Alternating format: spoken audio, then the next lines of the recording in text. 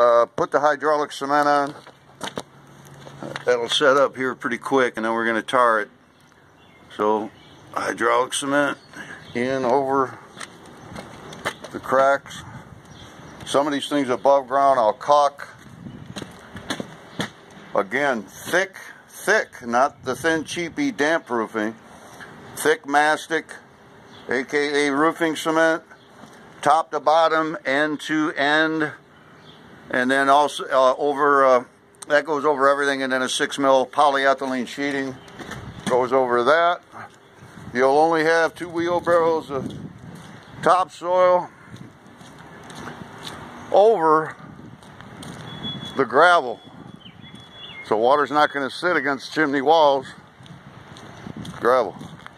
That's going to be picked up and hauled away